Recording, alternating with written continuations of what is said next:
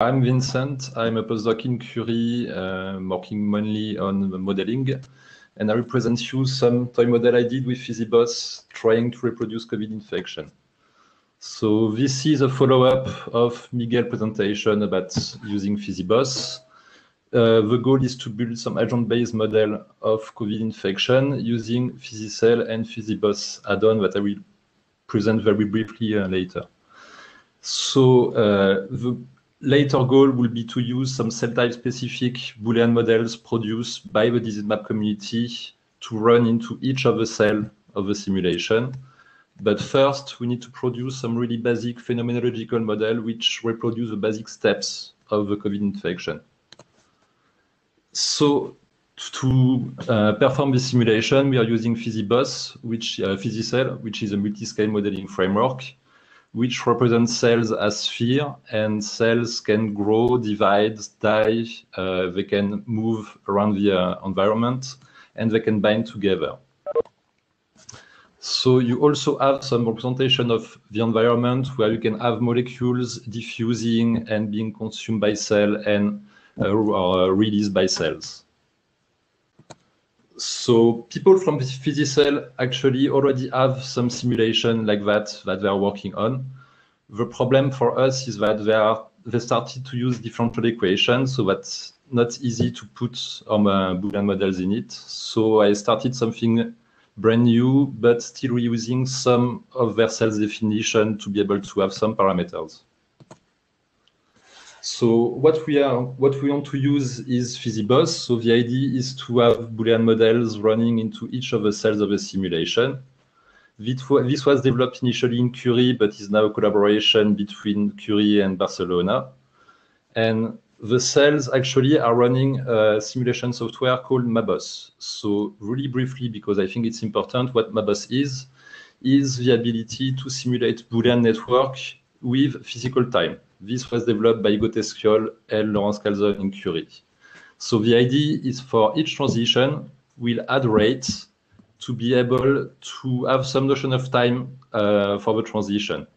And with this notion of time, we can couple it with physical time and have some real simulation uh, working together. So uh, first a disclaimer, I'm not an immunologist.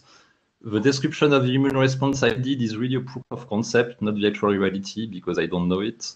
Uh, I just thought that this model could show really well the mechanisms used by PhysiBoss, and it can quickly be modified to represent the real biology. But for that, I need your help to improve this model and make it more realistic. So uh, I started with a really basic things. Uh, we have a virus which is diffusing in the environment like a molecule, and we have a layer of epithelial cells. When an epithelial cell sends a virus, one node of the Boolean model will be activated. So for that, it needs to pass some threshold of concentration of virus close to the cell. So once this present virus is activated, it will trigger a cascade which will infect the cell then turn it infectious, and eventually killing it. Infectious cells are releasing new virus inside the environment, and without any solution to contain or kill the virus, all cells will eventually die. So that's what we see here in this video. We have at first uh, some uh, infected cell which will release virus and infect uh, neighboring cells and in the end, uh, all cells will be uh, infected and die. So I, then I started to add some first response of the immune system. So again, I'm not a biologist, so I added some immune cells which is naturally present in the tissue, so that is already here. And I call them macrophages, but again, I don't know. So when this macrophage sends the virus, uh, some nodes inside the macrophage's Boolean model called presence virus will be activated, and this will activate the macrophage. Once activated, the macrophage will start to eat the virus around him in the environment. So it will lower the concentration, the quantity of virus in the environment. This will slow down the infection, but still without any solution to actually kill the virus and the cells propagating the virus, all the cells will die. So that's what we see in this video. The big blue cells are the macrophages, which are at first inactive. And when the infected cells start releasing, they will turn light blue and become activated. And you can see that they will eat the virus, that around this active macrophage, you have uh, more green cells which, which will sense less the virus. But still, it will just slow down the progression. So we need a real strategy to be able to uh, eliminate the virus. So I added some second layer of immune response, which is that when a macrophage is activated, it not only eats the virus, but it will also start secreting cytokines. These cytokines will recruit other immune cells that I call T cells here, but again, I don't know. And these T cells will be able to treat infected cells. So at first, when they are recruited, T cells are attracted to macrophages. They will bind to these macrophages and become active. And once active, they will no longer be attracted to macrophage, but attracted to the virus. And so they will start looking for epithelial cells releasing the virus.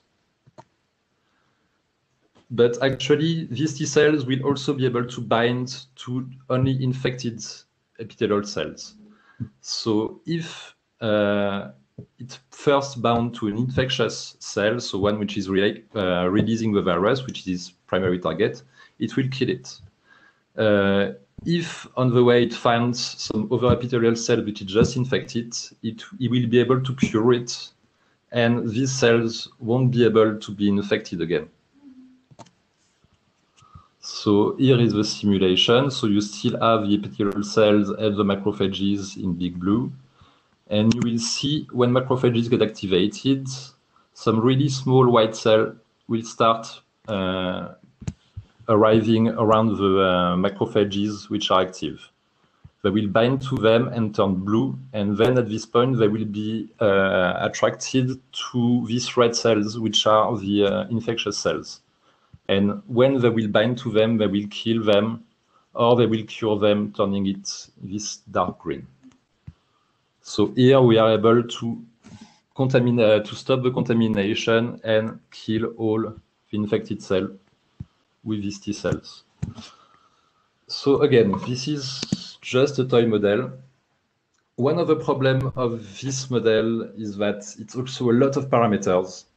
You, since it's a MaBoSS model and not a pure Boolean model, you have activation and inactivation rates for every node in the MaBoSS model.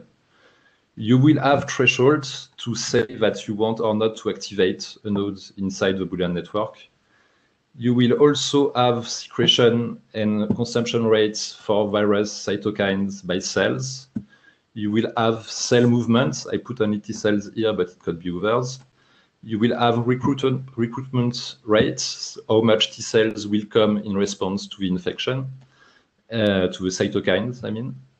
You will also have diffusion parameters and death rates for cells. So it's, it's a lot of parameters.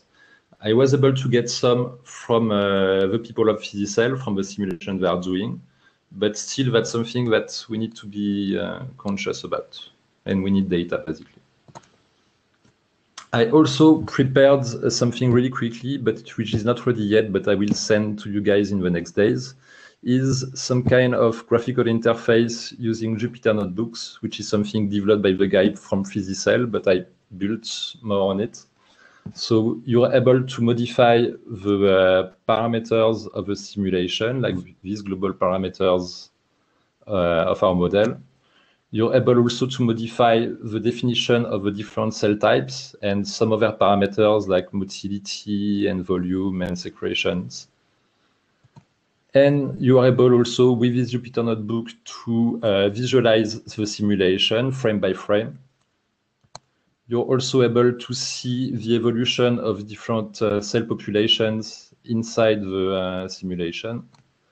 And also for each uh, cell type, you're able to see the uh, distribution of state of the Boolean model in time.